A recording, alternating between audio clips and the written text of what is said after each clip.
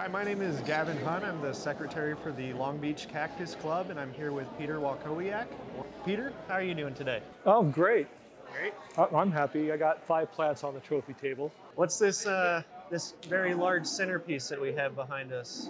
That plant I purchased 40 years ago from Manny Singer. A lot of people got their first plants from him. Um, so that, that, when I bought it, was just four inches tall or so. Have you had it staged the entire time, and you've just slowly? Um, I've had it staged it? for the last 15 years Oh, or wow. so. Okay. Yeah, I've been bringing it to shows. It oftentimes is where it's at, at you know, in the show. That's It's a trophy plant because it is a spectacular plant. Oh yeah, it really catches the eye, especially when it's in full bloom. full like bloom. That. Yeah. And this th- this show is timed perfectly for it because it comes into bloom of- in uh, July. Okay. How long does it hold the flowers? Uh, it'll keep blooming until January.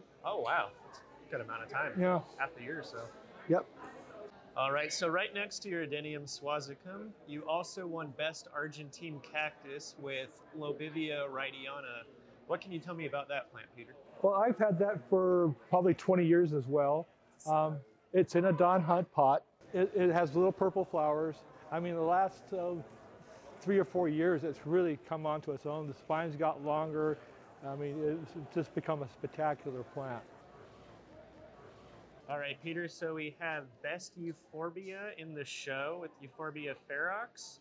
How old would you say this plant is? I've had this, I started this about 15 years ago. Wow. Um, I have three more just like this one, but yeah, it's like eeny, meeny, meeny, which one do I want to plant? So I just grabbed the easiest one and put, put it in the pot a few months ago. It's a pretty spectacular clone. It has a very nice purple s- spines on it, Oh yeah. and it maintains that very well. I've seen other clones that just don't, don't do that. Peter, when you're transplanting something like this, how do you protect yourself and the plant during that process? Uh, you wear gloves, you use materials like carpet or, or newspaper so, so you don't actually touch it. It has something in between you and the plant. And it protects the plant and protects you that way. Um, and that's the easiest way to do it. I always think about how I'm going to do it before I ever even get started doing it. I don't just start going, going at it. It's like I, I start with the strategy. And, and that way I, I, I'm pretty comfortable with, with doing it. So here we have category 128, collections of 5 to 12 plants. This is Peter's Euphorbia Mini Medusa Hybrid multi-head collection. Peter, what would you like to uh, tell everyone about these plants? I grow these in full sun. Here, I live in San Diego County. Uh, they, they, they, they perform wonderfully. These are all about 15 to 20 years old. Uh, in the beginning, the bees, I just started collecting the seed and it was all random because the bees pollinated them all. And so I just started growing them and I got, got some really neat variations. And this is sort of representing some of my variations. And this, I have single heads and I have multiple heads like these. And they, they develop these beautiful trunks on them over time. And that's when I feel that they, they really stand out.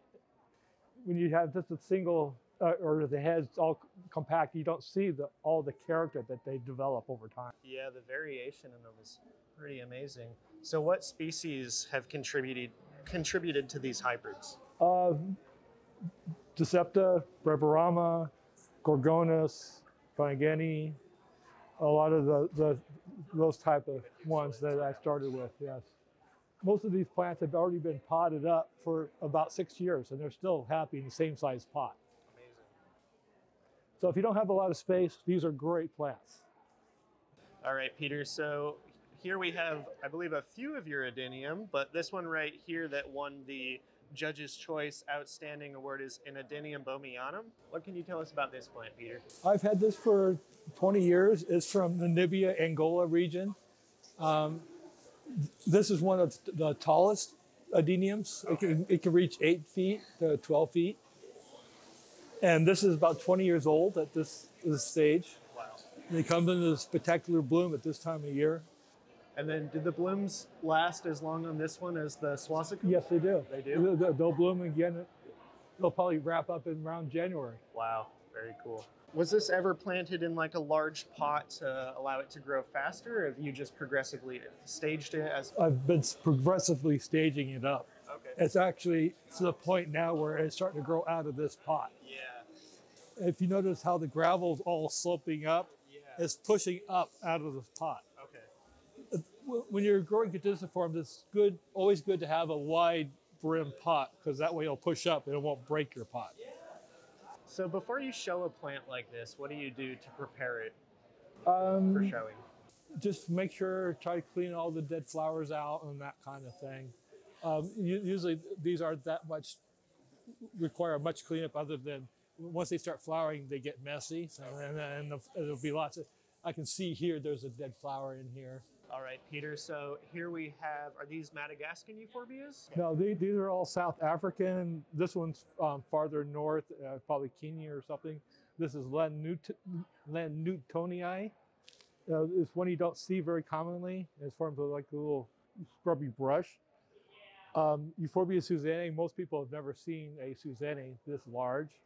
I've got four four others like that. I ma- this one's actually a male. I have the females get a little scarring from the from their peduncles from the flowering, so they're not quite as clean looking as the males. Uh, I have Euphorbia tubiglans. I bought this 20 years ago from Petra. okay. Um, Euphorbia uh, polygona snowflake. And the, the next one over is the Euphorbia bupleurifolia hybrid that came up in one of my seed batches in my bupleurifolia. I don't know what it hybridized with, but it has these really long tubercles. I really like that. Um, another one you don't see very often is Euphorbia lignosa. Um, and, and it, forms a little caudex in, underneath there. And then the other one is you don't see very often either is hamata. And that one gets really red uh, in the, in the, after it flowers around February. It's really quite stunning at that point. It turns all turns all bright red. I want to thank you, Peter, one of our lifetime Long Beach members, for showing me around the uh, showroom and highlighting some of your amazing plants. So thank Well, you, Peter. thank you. I'm happy to highlight them. Thank you.